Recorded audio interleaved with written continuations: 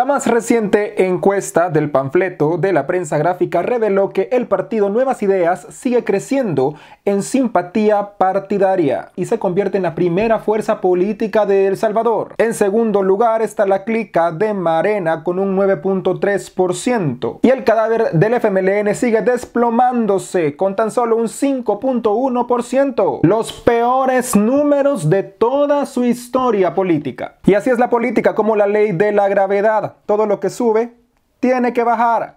Todos los imperios tarde o temprano se derrumban. El que con lobos anda, aullar aprende. Árbol que nace torcido, jamás su tronco endereza. Y más torcidos que Arena y el Frente, ¿quién? Dígame usted, ¿quién? Arena y el FMLN se desploman, van en declive. Se fueron en la chicagüita, experimentan la peor debacle de su historia. Van para abajo abruptamente como gordo en tobogán.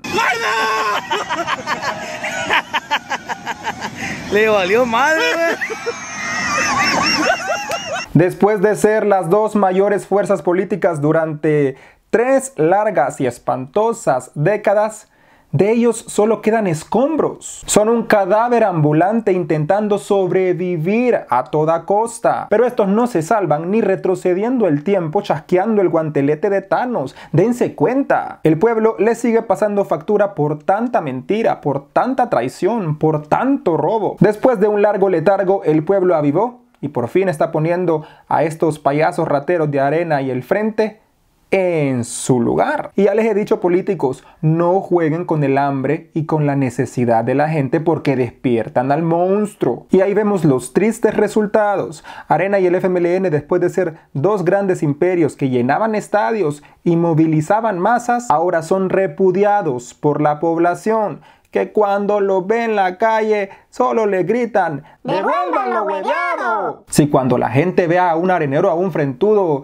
en la calle, le pitan la vieja. Son como tu ex que no querés volver a ver, pero ni en pintura. Y si lo ves, le echas el carro encima. Pues Nuevas Ideas, el partido creado por Nayib Bukele y con el que no pudo competir en las presidenciales por la historia que ya todos conocemos, los chanchullos del Tribunal Supremo Electoral y de la Corte Suprema de la Injusticia, continúa a la alza en simpatía partidaria y ha crecido obviamente en gran parte a la imagen del presidente Bukele. Del 22 en 2018 al 32% de aceptación en 2019. A lo que hay que ponerle atención es que el 44% de la población, según esta encuesta, no simpatiza con ningún partido político. Y es este porcentaje el que los partidos buscarán conquistar para ganarse el voto. Yo realmente no creo que ese 44% vote por Arena o por el FMLN. Porque ya les he dicho, señores, no voten por Arena y por el Frente.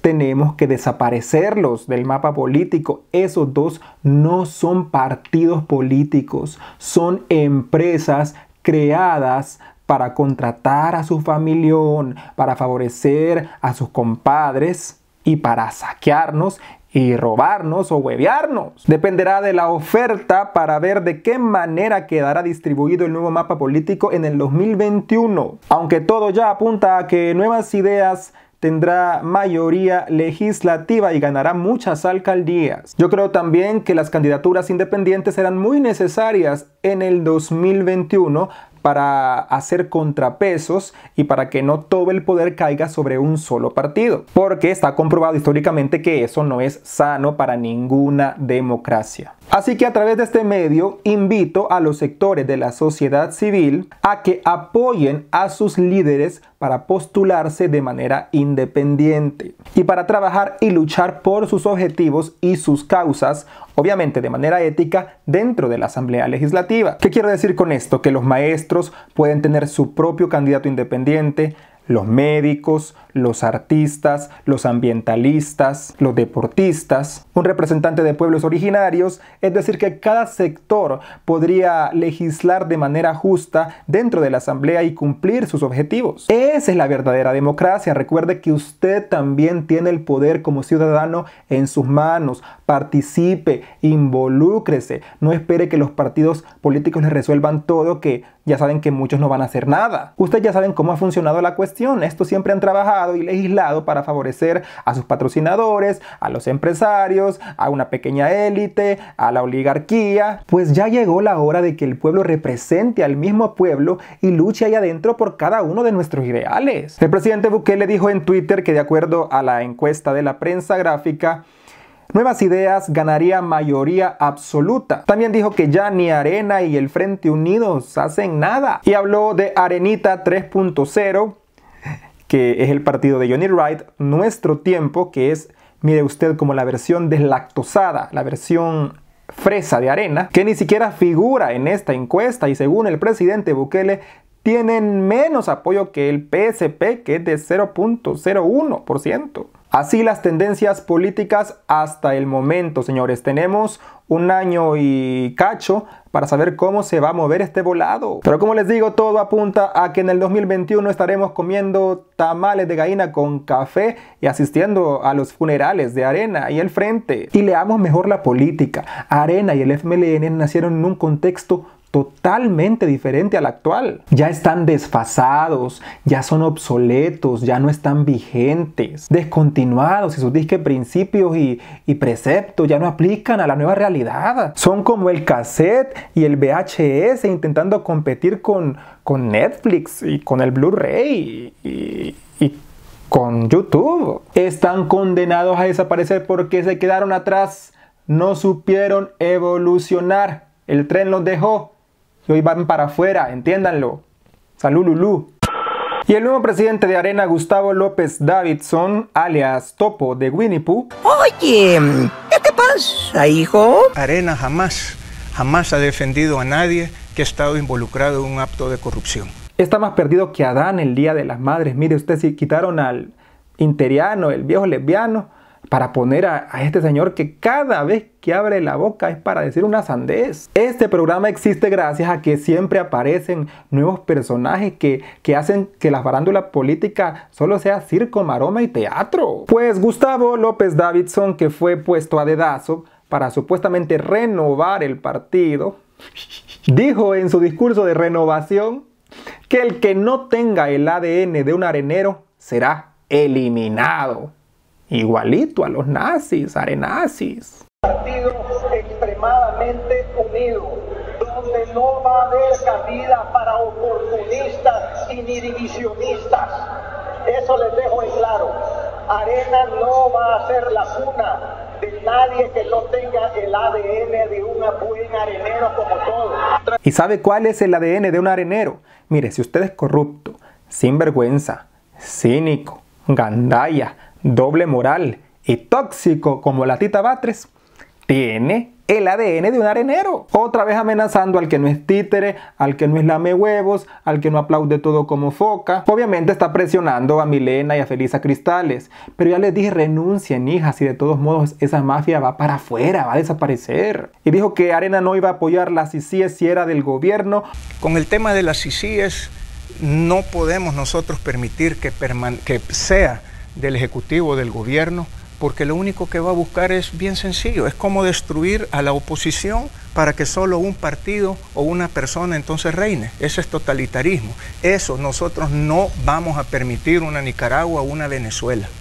Oye, ¿qué te pasa, hijo? Óigalos, en pleno casi 2020 estos siguen con argumentos de, de 1900 ayer. Por eso le digo que están descontinuados. Y por último, la mayor de las estupideces que salieron de topo fue decir que no sirve para nada que construyan el mejor hospital de Centroamérica porque la familia no va a tener dónde quedarse. ¿De qué sirve hacer un gran hospital que va a ser un gran ejemplo para Centroamérica en San Salvador si la gente que viene no tiene ni dónde quedarse? Imagínense qué mente más topada, o sea que este prefiere que tengamos los mismos hospitales hechos miércoles que dejó su partido, los mismos hospitales sin medicina y sin camillas que dejó Arena y el Frente.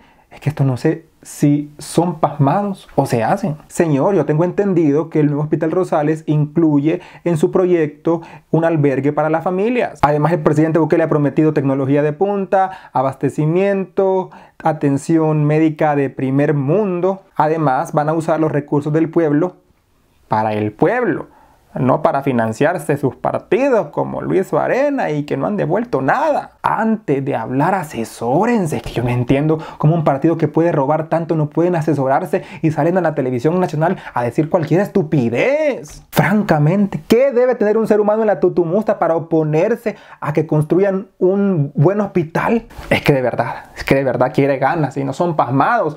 Perdón la palabra, son pendejos. ¿Por qué me está quitando el nylon?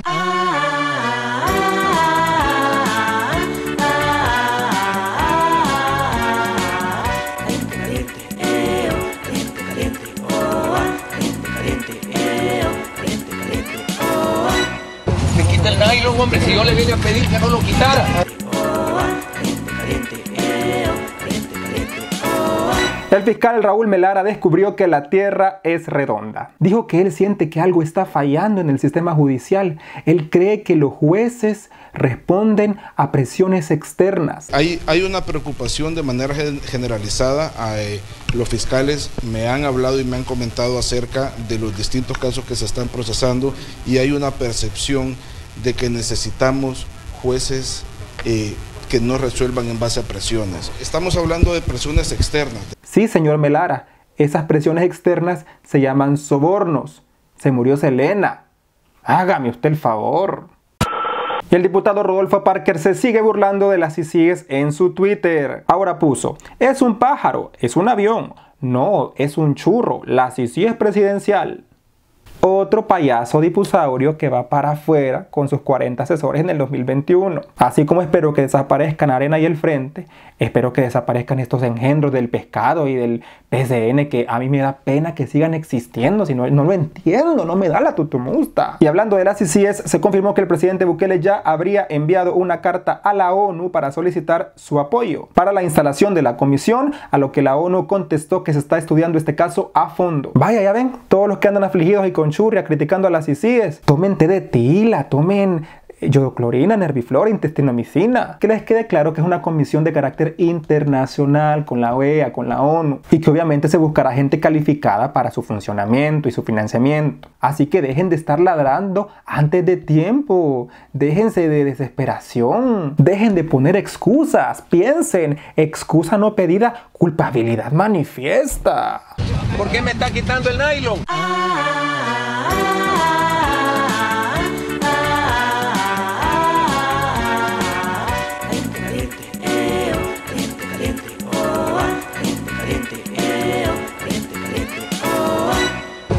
Nylon, hombre, si yo le vine a pedir que no lo quitara. Hasta aquí con esta edición de Escenario Político. Como siempre te invito a suscribirte a mi canal de YouTube y activar la campanita de notificaciones. Sígueme en mis redes buscándome como soy José Youtuber en Facebook, Twitter e Instagram. Puedes apoyar el financiamiento de este canal a través de la plataforma www.patreon.com soy José Youtuber. Como siempre, gracias por preferir este canal. Soy José Valladares y nos vemos en una próxima edición de tu programa favorito de crítica y sátira, Escenario Político.